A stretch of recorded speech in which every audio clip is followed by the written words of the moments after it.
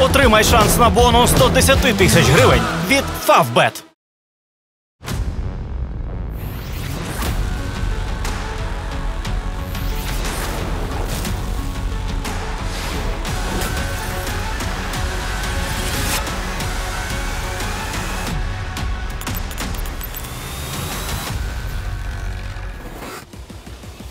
Спочатку в цьому сюжеті ми планували трохи потролити останкінських фейкомьотів. Особливо з урахуванням того, що вони весь тиждень наривалися, видаючи на гора ледь не рекордну кількість фейків та маразмів.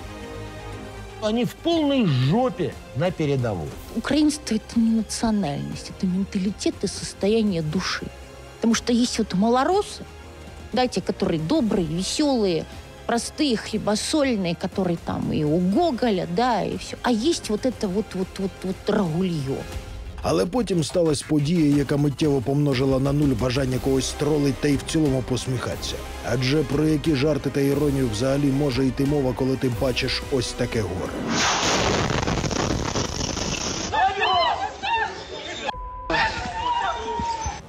Багато хто, у тому числі деякі науковці, часто кажуть, мовляв, людина така істота, що до всього звикає, навіть до війни, крові та трупів.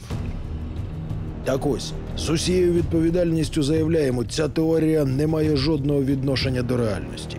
Був Маріуполь, двічі Краматорськ, Умань, Дніпро, Кривий Ріг, Чернігів. Це тільки те, що одразу згадується. І ось зараз Костянтинівка. Российская армия нанесла удар по рынку в Константиновке. На данный момент известно о 17 погибших и 32 раненых. І ти розумієш, що до такого просто неможливо звикнути ніколи. А ще важко звикнути до російських танців на кістках, у тому числі і на дитячих. Адже ще кров на асфальті не встигла охолонути, а пропагандісти вже почали прокачувати свої жалюгідні темніки. Сегодняшняя трагедия в украинском городе Константиновка явно дело рук самих ВСУ. М, положение дел на фронте для киевского режима диктует необходимость создания некого эм, события на информационном фронте м, для того, чтобы перекрыть эм, собственный неуспех. Угу, ну тобто Україна сама себе обстріляла. Дуже віримо. Особливо з огляду на те, що серед постраждалих була велика кількість військових. Останні, мабуть, вирішили пальнуть в самих себе. Мовляв, бий своїх, щоб чужі боялись. Ракетный удар по рынку в подконтрольной Киеву Константиновке был нанесен со стороны украинских позиций. Есть факты в случае, когда боевики атакуют свои же территории не единичны, Але ми не будемо подібнюватися останкінським балаболам, яким з умовного Нарільська краще видно, звідки прилетіла ракета. А просто спробуємо дати оцінку трагедії у Костянтинівці з урахуванням подій останніх днів. І починати треба з того, що, на жаль, все до того йшло. Войска оккупантов вновь обстреляли Краматорск. В городе прозвучали несколько взрывов. Протягом кількох днів до прильоту по ринку російська артилерія систематично обстрілювала і Костянтинівку, і сусідній Краматорськ. Били в основному смерчами, ураганами та торнадо С. Причому били просто по житловим кварталам. И еще одна российская ракета, она встряла в проезжую часть в нескольких десятках метров от этого места. Находится многоэтажный дом. Ось це, наприклад, російська болванка на одній з вулиць Краматорська. А тепер питання знавця. Ви бачите довкола якісь військові об'єкти? Ми ні. Це тупо спальний район. Тобто чмоням взагалі пофігу, що буде з людьми, які тут живуть. І кілька днів подібних обстрілів якимось дивом обходилось без масових жертв, але було очевидно, що рано чи пізно мирних мешканців зачепить. І, на жаль, приліт у Костянтинівці підтвердив ці побоювання. Полиция Донецкой области подтвердила гибель 16 человек в результате удара по Константиновке в Донецкой области. Ранены, по последним данным, 33 человека. При цьому одразу відзначимо, що місце обстрілу обрано зовсім не випадково. Там же ж не просто ринок. У Костянтинівці ринок по суті зливається із залізничним вокзалом. Ну а останній зі зрозумілих причин є місцем, куди приїжджають і звідки їдуть українські військові. І в цьому взагалі нема ніякої таємниці. І якщо ви подивитесь на фотографії після прильоту, там дійсно багато людей у формі. А тепер просто нагадаємо, що Росія вже багато місяців б'є ракетами по локаціям, де в теорії могли б перебувати українські солдати. Наприклад, у сусідньому Краматорську чмоні іскандером знищили цивільний ресторан, куди, окрім місцевих, заходили на обід та вечерю військові.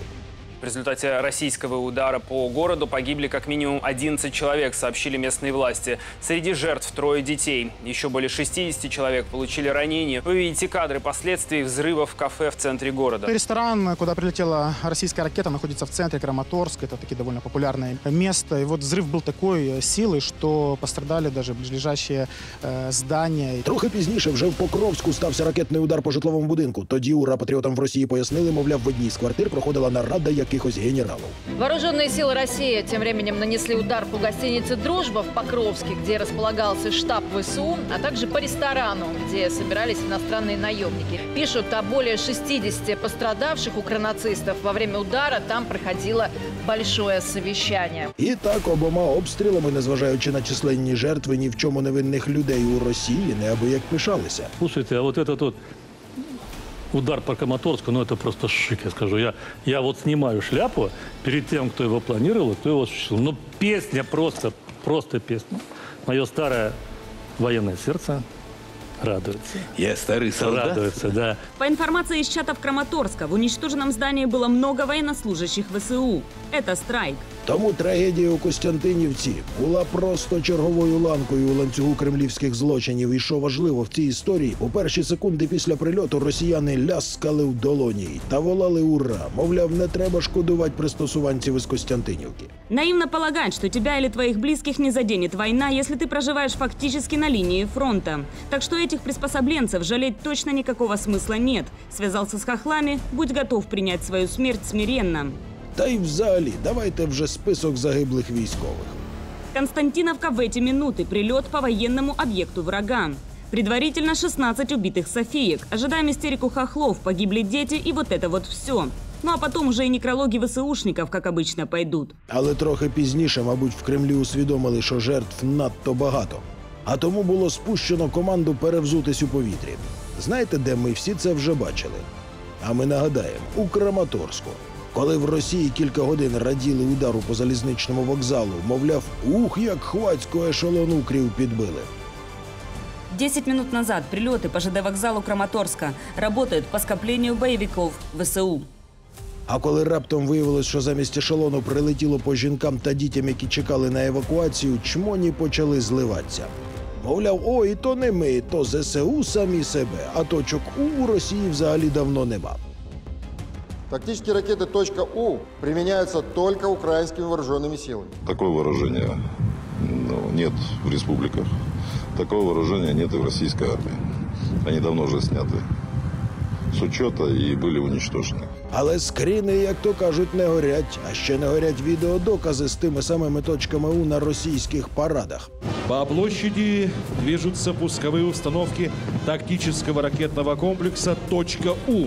І ми це все згадуємо лише з однією метою, щоб ви не забували, з ким Україна має справу. Адже Костянтинівка зараз це друга серія торішнього Краматорська. І роблять чмоні все це за старим сценарієм. Спочатку радість, потім істерика. Мовляв, це українці до приїзду Блінкіна влаштували провокацію. Был визит Блинкина и был удар по Константиновке. И вот уже все сводится к тому, что э, это было с украинской стороны. По-моему, это что-то такое ритуальное.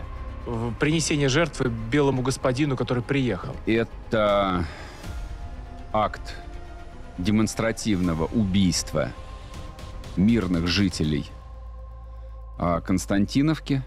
Расчетливо, цинично, чтобы вот а, было максимально больно. Это не совпадение. В Киев приезжает Блинкин.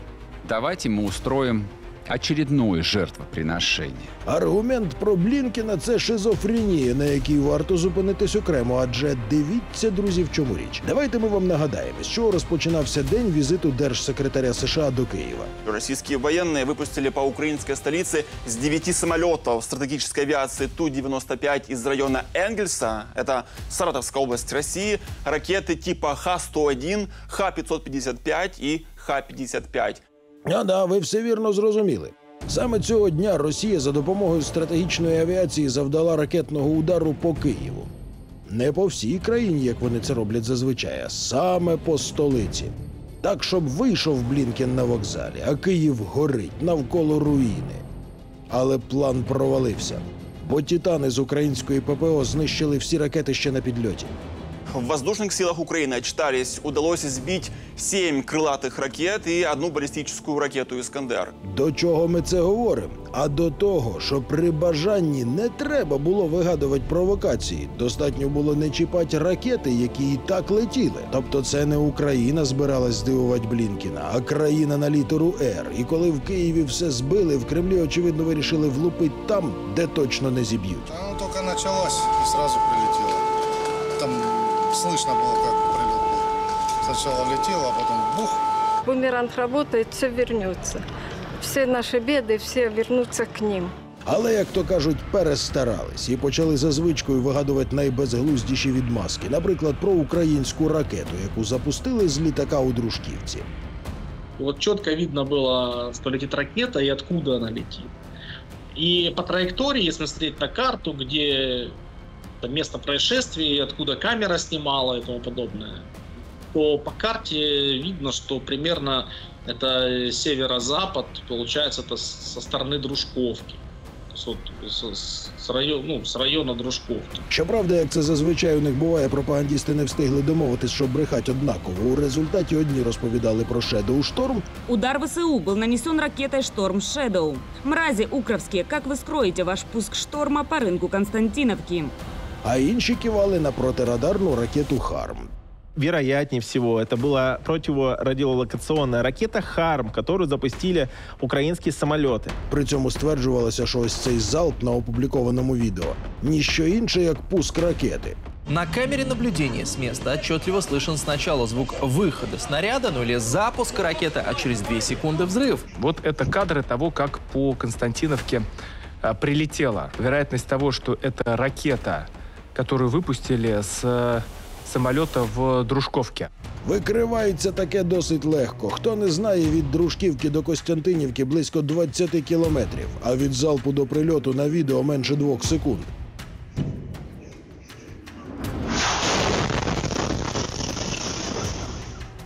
Тобто навіть кінжал, який рухається зі швидкістю 4000 метрів за секунду, так швидко б ніколи не долетів. А про ракети, які в розпорядженні України, і мова не може бути. Що ж до залпу, то все пояснюється досить просто. Костянтинівка прифронтове місто. Тут із 14-го року чутно роботу української артилерії. А зараз, коли під Бахмутом тяжкі бої, залпи чути постійно.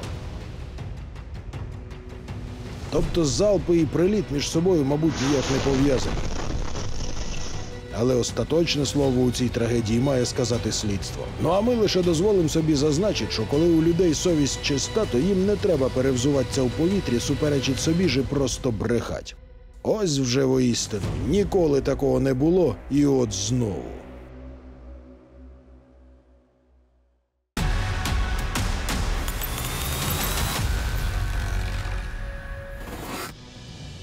На нашій базі НАТО в Естонії є невелике хобі. Справа в тому, що ми дуже любимо читати чи слухати максимально пафосну браваду останкінських пропагандістів.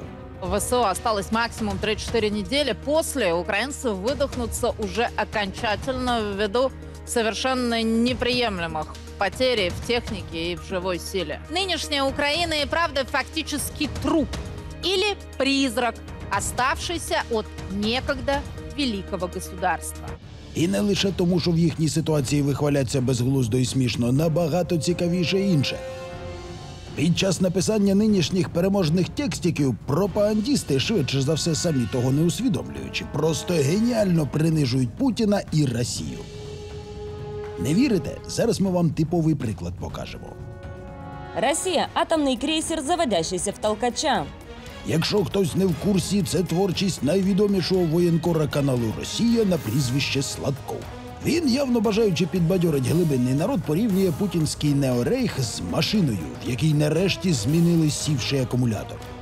Как авто с севшим аккумом, мы заводим Россию, запускаем ее как боевой агрегат. І все б нічого, проте одразу виникає питання: вибачте, а ми правильно розуміємо, що за 20 років при владі Путін перетворив Росію в машину із заглухлим движком. просто ви до Великої війни так смішно дерли носа, і армія у вас найсильніша була. Да вообще российская армия сегодня одна из лучших в мире, это признают сегодня все. І економіка навіть під санкціями зростала на заздрість західним буржуям. Санкции парадоксальным образом э, и, играют положительную роль в развитии российской экономики. Они на самом деле э, стимулируют развитие определенных секторов экономики. Та що ж змінилось з того часу, а хлопці? Давайте вгадаємо. Ви несподівано для себе вийшли із зони комфорта. І там раптом виявилось, що і російська армія придатна лише для парадів, і в економіці все, м'яко кажучи, не дуже. Настільки не дуже, що за долар вже сотню рублів дають. Какого хрена курс так скачет, что над нами вся заграница теперь смеется? Что самые слабые, одна из трех самых слабых валют у нас рубль. Благодаря гениальной политике Центробанка, который даже презирает народ, чтобы хоть слово ему сказать о чем-то. Тобто, по суті, на рівні державного каналу Росія визнали 20 років з Путіним на чолі двигун не те, щоб не завівся, а остаточно заглох. Одначе на своїх старих помилках пропагандісти наполегливо вчитись не хочуть. А якби ж вони раніше були скромнішими, то ймовірно не було б так соромно і після втечі з Київської області, і після злитої Харківської області, куди Росія, нагадаємо, язиком Турчака прийшла назавжди. Россия становится все ближе и ближе, но я бы даже сказал, что уже факт очевидный, что Россия здесь навсегда. Россия отсюда никогда не уйдет. Про Херсон ми взагалі мовчимо. Взяти своєю могутньою армією аж один обласний центр, записати його в конституції російською територією і безславно втекти. Шойгу, министр обороны, приказал э, не приступить к отводу войск из э, той части Херсонской области, которая находится на правом берегу. Мы оставляем Херсон. Наша оборона будет строиться на левом берегу. Це навіть не ганьба, це рубрика на коліна. Але навіть тут винахідливі пропагандісти вже вигадали для глибинного народу відмазку щодо минулорічних відступів. Во время э, наступления э, ВСУ этим летом вот, вдруг стало понятно, какова н- стратегия нашего генерального штаба. Именно генерального штаба, именно военные. Мне понятно, вот пр- стали предыдущие маневры, почему мы заходили так, почему потом вышли и вернулись сюда. Виявляється, хитрий шайгу спеціально здав величезні території, щоб виманити українську армію в чисте поле, а саме в степи Донецької та Запорізької областей. Задача э, нашего генерального штаба нанести военное поражение армии киевского режима здесь, в Донецких и Запорожских степях. Это не значит дойти до м, города Львова. Военное поражение – это когда одна армия принуждает, либо уничтожает, либо принуждает сдаться другую армию, где бы она ни находилась. Мовляв, от тепер то на відкритій місцевості українську армію розберуть, а Шойгу та Герасимову за такий підступний план слід ордени дать. Посмертно. Ну, що тут скажеш? Цікаво у вас, хлопці, темніки змінюються. Адже за попередніми байками і в Харківській, і в Херсонській областях російська армія нібито відступала, аби заманити українські сили оборони у грандіозний котел.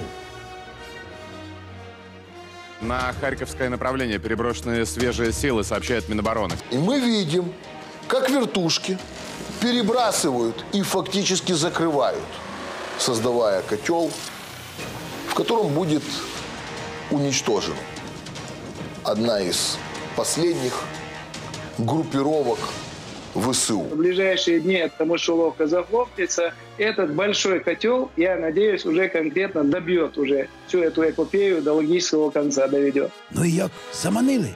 Ой, вибачте, чого ж це ми тепер же ж холопом заливають, що не в котлах задумка була. Степи, ось він головний план. Мне понятно, вот пр- стали предыдущие маневры, почему мы заходили так, почему потом вышли и вернулись сюда. Задача э, нашего генерального штаба нанести военное поражение армии киевского режима здесь, в Донецких и Запорожских степях. І як же ж тут не посміхнуться? Ну на кого взагалі розраховані такі байки? А нічого, що на початок Великої війни, 24 лютого 2022 року, ЗСУ у повному складі в зоні ООС, тобто якраз у Донецьких степах були. Що ж вам заважало тоді у полі перемогти? Пушилін, якщо хтось забув, на кордони Донецької області за два дні збирався вийти. Денис Пушилин. До выхода сил ДНР и ЛНР на границе Донецкой и Луганской областей остались считанные дни. Це ж саме стосується і правого берега Херсонської області. Там часом не безкрайній степ був. Кращого місця для оборони і вигадати складно. Степ, поля, канали для зрошення, видимість на багато кілометрів. Що ж ви не перемогли? Чого Стрімоусов із цвинтаря вмикається, а не з Миколаєва? Вот поверьте мне, что скорее мы зайдем в Николаев уже в ближайшие недели, и оттуда уже я буду с вами общаться в прямом эфире, чтобы до конца уже понимать, что же на самом деле происходит м, э, на этой м, украинской войне, как они говорят. Відповідь тут очевидна. Для того, аби чесати язиком, особливо з глибокого тилу, багато зусиль не потрібно. Зовсім інша річ перемагать на полі бою. А тих самих перемог, навіть локальних, у російській армії немає з зими. Півроку минуло, а просування виключно у бік російського кордону. Тому особисто ми відкрито сміємось в обличчя всім пропагандістам, які заливають, тіпа результат війни вже остаточно вирішений. Их наступательный порыв фактически сошел на нет. Ход военных действий, благодаря еще раз мужеству наших солдат и офицеров, он уже задан, он предрешен. Або, як уже згаданий Сладков, ставлять язиком печатку Генштабу РФ на плани України і Держдепу. Короче говоря, на плане Киева Энд Блинкин должна стоять как минимум печать Генерального штаба ВС РФ. На чоло її собі постав дурік. Ну не можна ж настільки відірваним від реальності бути. Про які взагалі перемоги та військові бази на кордоні з НАТО може йтися. Нам России вся Украина нужна, нейтральная, без фашистов и с нашими военными базами вдоль границ с НАТО. Якщо ви елітними частинами навіть селище у Запорізькій області втримати не можете, чи от там печатка генштабу не працює, да? Российские войска оставили южные окраины э, Работина, отошли в лесополки, отошли на высоты южнее. На Работин это свет клином не сошелся. Там за Работин еще много чего накоп- накопано. Цікаво, та ще минулого тижня пропагандісти запевняли глибинний нарід у тому, що шансів взяти Роботіно у ЗСУ рівно нуль. От цитата: Наступ України успішно проходить хіба що в соцмережах. В Работино Запорожской области продолжаются тяжелейшие бои. По имеющимся данным, южная окраина Работина находится под нашим контролем. Киев настаивает, что поселок ими уже захвачен, но захвачен, похоже, только лишь в социальных сетях. Тепер, коли заперечувати очевидно стало неможливо, а втрату Роботіно визнав навіть гауляйтер Балицький, Работина в результате достаточно больших и продолжительных боев практически больше не существует. И российская армия э, оставила, тактически оставила э, этот населенный пункт з Кремля в Останкіно миттю спустили новий темнік. Виявляється, роботи не Росії було не особливо й потрібне, як і сусіднє вербове. И это вербовое тоже ничего не знаю. Важные э, те высоты, которые находятся вокруг э, этих населенных пунктов, которые остаются в наших руках на сегодняшний день, и уходить с них никто не собирается, и, соответственно, мы еще находим силы и, соответственно, проводим контратаки. Нет смысла оставаться в этом э, Работино, о котором вот э, все много говорят. Ну а влучніше за всіх свіжу політику партії на одному із шоу сформулював ось цей міський божевільний.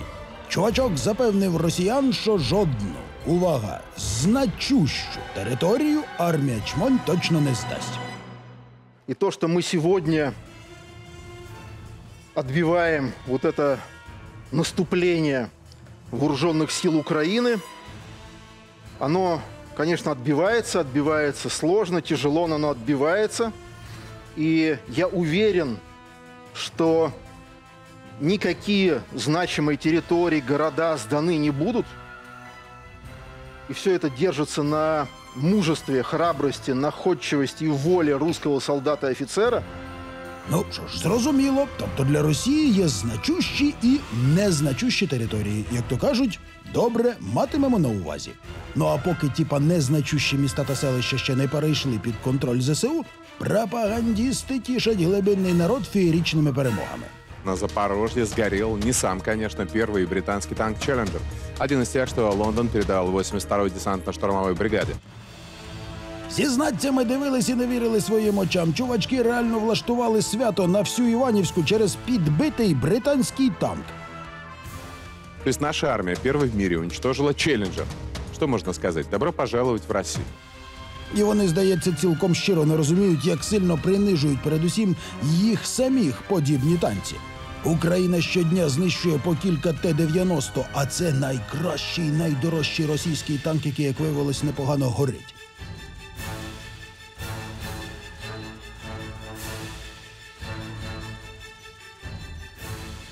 І ніхто тут не влаштовує із такого сенсацію, а тим більше свято, навіть тоді, коли знищується одразу три Т-90 за раз. Подбитая российская бронетехника под Андреевкой в районе Бахмута, в том числе три новейших танка Т-90 «Прорыв». Але у РФ все настільки погано з перемогами, що будь-який вдалий постріл гарантує тиждень хороводів. Так було після двох знищених леопардів. Давайте э, я вам предложу посмотреть немножечко позитива, как жарят петухов. Восхитительная картина. На досуге пересмотрите еще разок. Это успокаивает. Вот после просмотра этого кино очень хорошо спится. Мы их о, пожгли буквально несколько дней назад. Можно увидеть, как уничтожается немецкий танк в украинских степях. О, ну, Просто дежавю какое-то. І те ж саме ми бачимо зараз після підбитого британського челенджера. На кадрах из Украины уничтожение якобы непобедимого британского танка. Оце ж просто ганьба. Що вони там казали? Друга армія світу. А судячи з інформаційної політики, здається, що йдеться про тубільців, які дивом вразили шайтан машину. Британские танки, как и казалось, горят не хуже немецких леопардов. Теперь очень ждем Абрамса из США. Але не варто думати, що окрім аж одного знищеного британського танка, найбільш скріпна країна у світі не має інших перемог. Пам'ятаєте недавній удар ракетою по будівлі поліції у Кривому Розі? 54 человека пострадали в результате удара России по центру Кривого Рога. Об этом сообщают в МВД Украины. Ракета попала в административное здание полиции. Известно об одном погибшем полицейском. Еще троих спасатели достали из-под завалов. Они находятся в тяжелом состоянии. Тоді ще кадри порятунку поранених копів усі інформаційні стрічки облетіли. Так ось глибинному народу розповіли, що під час цього удару було ліквідовано увага одразу 40 офіцерів НАТО, Які для чогось приїхали на нараду аж до Кривого Рогу. Турки пишут, что в результате удара крылатой ракетой Х-50 по отделу полиции Кривого Рога, в котором проходило совещание украинских силовиков и офицеров НАТО, 40 человек погибло, 60 ранены. Ми б на місці офіцерів НАТО взагалі в роботіно нараду проводили. Або у тій же Кліщіївці. Ні, ну а що? Якщо з усієї країни, нібито для наради вибирається місто в зоні досяжності балістики, то можна не розмінюватися на дрібниці і в сараях між Роботіною і Вербовим зустріч влаштовувати. Ну а якщо говорити серйозно, то саме такі новини демонструють, як сильно верхівка в Кремлі не поважає простих росіян. І річ навіть не в самому фейку, а в тому, що і чиновники, і пропагандісти свято впевнені у тупості глибинного народу.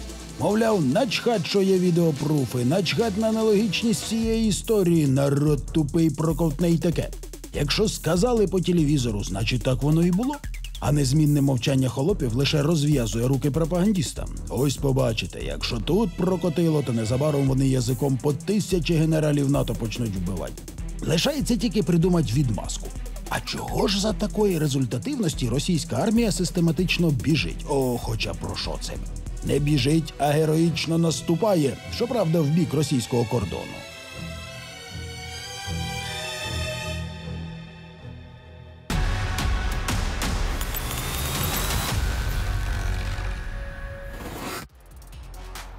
Серед усього божевілля, яке щодня видають на гора російські федеральні канали, трансгендеры, трансформеры, пи***ки. Везде вообще полностью все заполонили, понимаете? Alle zusammen, мы будем воевать кон русичен мир. Особисто ми найбільше отримуємо задоволення від псевдодокументальних фільмів.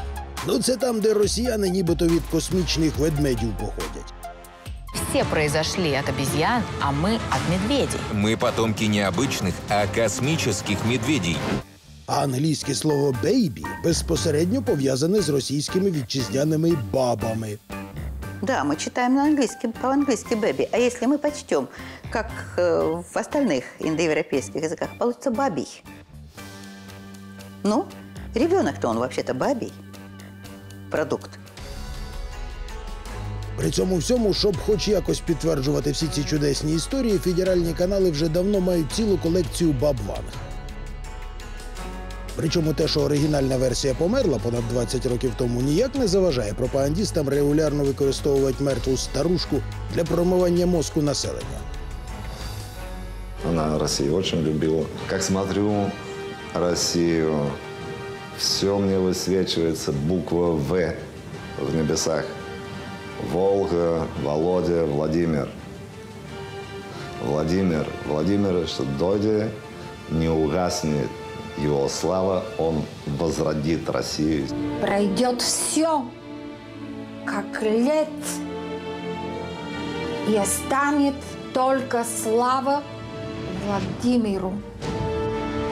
И Россия будет великая снова.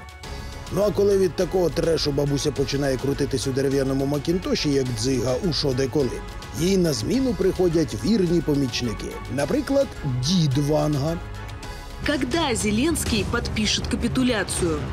До сентября, где-то в сентябре. В сентябре должно стих, стихнуть. Числа 17. Вот цифра 17 выходит. ну і молода Ванга теж у темі.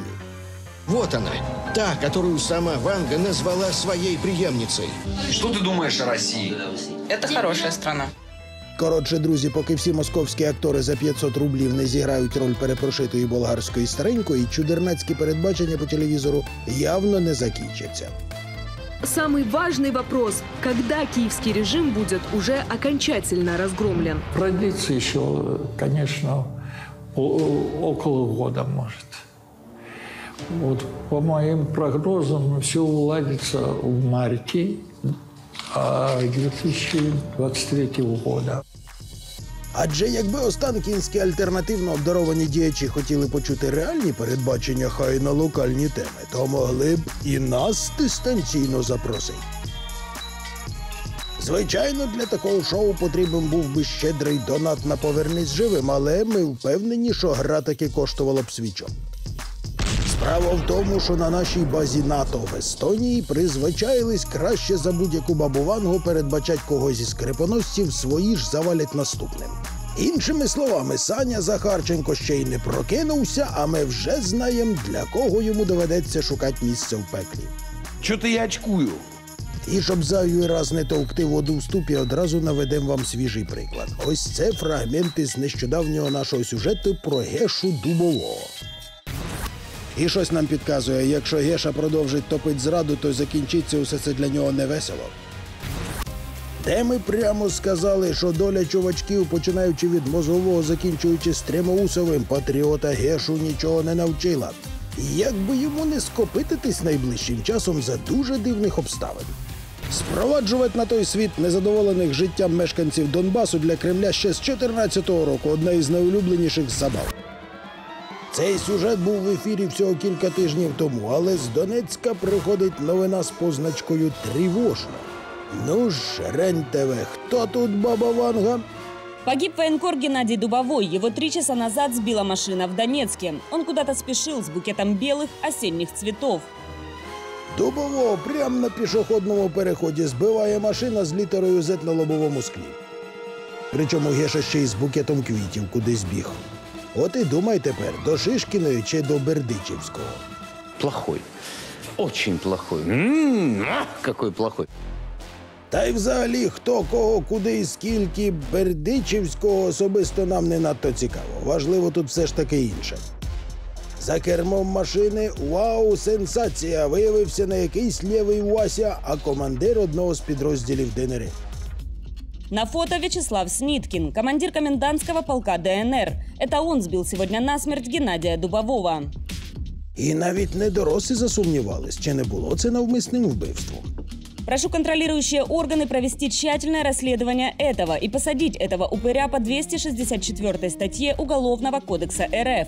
Это как минимум, а как максимум проверить, не специально ли это было сделано. И вот здесь статья уже другая.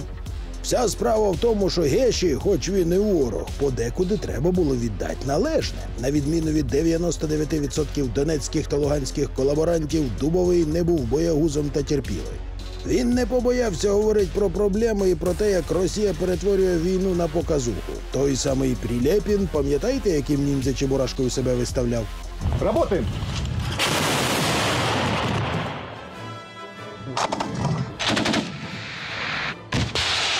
Работаем! Я управлял боевым подразделением, которое убивало людей в больших количествах. Киев. Сейчас 880 км. Ну, где-то часов 10, я думаю. Там А ось що говорив із цього приводу покійний Геша. Как это все выглядело? Приезжает Прилепин на позиции. Говорит, ну что, пацаны, надо поснимать ролик, снять. Пацаны начинают стрелять. Пацаны лупят из утесов, лупят из гранатометов. Отстрелялись.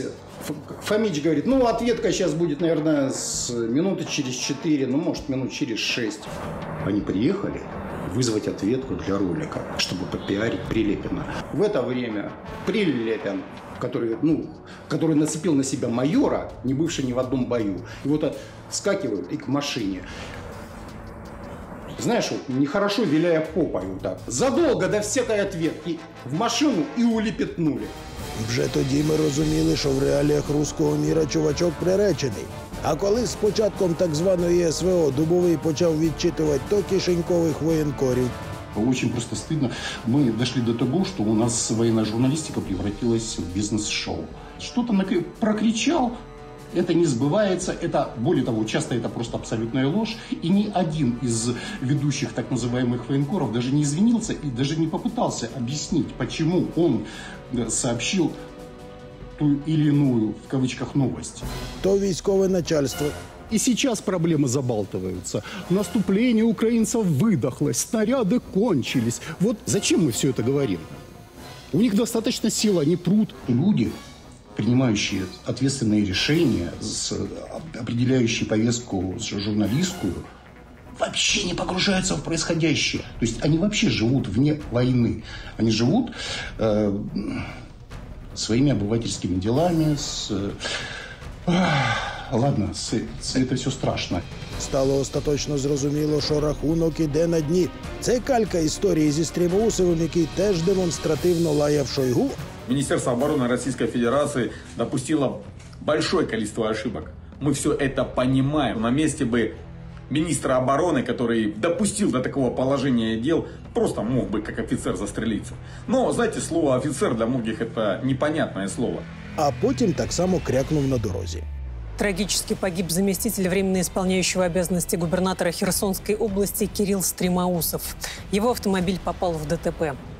При цьому знаєте, що в цій історії особливо прекрасно. О, ми розповімо. Найстрашнішим фронтом для покійного Геші були навіть не укропи-фашисти, а дружина на прізвище Шишкіна вдома. Два зверя, когда встречаются, смотрят друг другу в глаза. Вот кто первый дрогнет, тот и проиграл. Здавалося б, з таким прізвищем тільки в Єралаші зніматися, але не дай Боже вам побачить цей навароський Єралаш. Справа в тому, що дамочка була токсичною навіть для придворної публіки в ДНР. А аусвайс депутата дозволяв Шишкіній максимально ефективно просувати свої доноси. Пам'ятаєте, наприклад, відео, де донечанка в ресторані вилаяла російських чмонь. Нам ни Москвы, ни Парижа вот этого не надо. Ты Лезете приехал своими ну. сюда за разговорами. бабками. 240 тысяч за бабками Вам приехал. какая разница? Потому что ты там. Просто, что ты делал там? Вам какая Кого разница? ты там пас, а? Кого ты там пас? У тебя не образование. Вам зачем? Сука, Вы тупорылые овцы. Если вы сюда зайдете, у нас пацаны с войны придут. Я с войны. Мы вас уроем. Не дай вам Бог. Саме Шишкіна накатала заяву, щоб жінку посадили, і вона цим дуже пишалась. Открыв социальные сети, не ожидала увидеть это видео. Не побоюсь этого слова мерзкое и отвратительное. Я уже подготовила обращение в Следственный комитет, чтобы проверить действия девушки на предмет дискредитации вооруженных сил РФ. Так ось карма прилетіла майже миттєво. Чоловіка на пішохідному переході збив якраз один із чмонь. І тут би тітці депутату показати характери настрачить кляузу на вбивцю чоловіка. Але особисто ми впевнені, що нічого такого не буде. Публіка тіпа Шишкіної маму рідну продасть, аби тільки й далі по кайфу жить. Тому всі крики у соцмережах про правосуддя Наша республика уже вошла в правовое поле Российской Федерации, а значит меры реагирования, на мой взгляд, должны быть в правовом поле. Далі за розмови не підуть, адже навіть якщо Шишкіна точно знатиме, що дубового саме вбили, вона мовчатиме. Бо страх втратить все, плюс любов до самообману. Це один із стовпів, на яких тримається руський мір. Причому стосується подібне спостереження тупо всього, наприклад, ситуації на фронті. ВСО осталось максимум 3-4 недели. На федеральних каналах вже який тиждень продовжують заспокоювати один одного, нібито провалом контрнаступу. Украинское контрнаступление окончательно зашло в тупик. Контрнаступ э, завершился.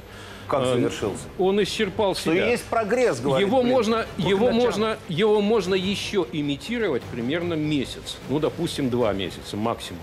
А так, в принципе, он уже завершился по результатам. Такий, знаєте, дуже сумнівний вид самообману, адже поки в Останкінських студіях вихваляються, Контрнаступ является абсолютно провальной операцией. Не помогла ни натовская техника, ни подготовка украинских солдат западными ЛГБТ-инструкторами. Они понесли колоссальные потери. Росія продовжує втрачати території навіть на тих напрямках, де більше року розповідала лише про перемоги. захлопывается и котел в Авдеевке. Националисты уже заблокированы и не смогут поменять диспозицию или отступить. Сейчас мы обхватываем с двух сторон, получается, с севера и с юга фактически Авдеевку. Це, до речі, типовий приклад. Ах, як довго міфічний котел в Авдіївці зігрівав душі росіян, що тужать без перемог. Что касается Авдеевки, наши силы продолжают, э, как бы это сказать, обжимать э, сам город, и чтобы он постепенно-постепенно попал в, э, в кольцо. Точно так же, как это случилось с Артемовском и Солидаром до этого. Але замість оточення стратегічно важливого міста Коксохіміків фронт раптом почав рухатися у напрямку Донецька. Навіть російські воєнкори визнають, що армія Чмонь втратила селище Опитне. Противник сделал повторный удар, используя все ту же тактику малых групп и продвинулся вперед, потеснив нас. Изменения на карте есть, бои перешли в опытное. Ряд источников сообщают о его потере. Опытное, что у Авдеевки позорно сдано, и теперь под хохлом. Военные крысы, как обычно, скрывают. Якщо що, то від Опитного до Донецька всього якихось три кілометри. Тому ми сміємось в обличчя тупо всім пропагандістам, які зараз мріють про взяття Херсона, Києва і Одеси. Впереди у нас, э, в общем, э, много чего. Ну, как минимум, э, Херсон надо освободить. А, И территории Харьковской области, откуда мы эм, перегруппировались. И нужно, в общем, э, опять с севера пройти Чернигов, Сумы и дойти до Киева. Це така відірваність від реальності, що взагалі не зрозуміло сміяться чи плакать. Говорячи простою мовою, ось такі хотілки. Пройти Чернигов, Сумы и дойти до Киева. Це приблизно те саме, що мріять про Анджеліну Джолі, коли тобі навіть Ленка з кіоску з пиріжками не дає. З іншого боку, вся убога бравада на тлі нескінченних поразок російської армії особисто нам на руку. Адже чим сильнішим буде розрив між очікуванням та реальністю, тим якісніше Росію трусане зсередини. І рано чи пізно це обов'язково станеться, адже народний гнів завжди накопичується. То одне село злили, то інше. А ось уже і вишки Чорноморськ Нафтогазу до рідної гавані повернулись. Киеву удалось вернуть под свой контроль две нефтегазовые вышки в море, в Черном море, которые Россия захватила еще в 2015 году. І пройде не так багато часу, коли чашка з написом Зрада буде переповнена. І ось тоді особисто ми не заздримо станкінським пропагандістам. Адже відповідати змусять не Путіна, ніт, а насамперед їх. Цар же ж добрий, він же ж просто не знав, як ви народу системно брешете. Тобто бумеранг ненависті, кинутий пропагандістами, їм же і повернеться.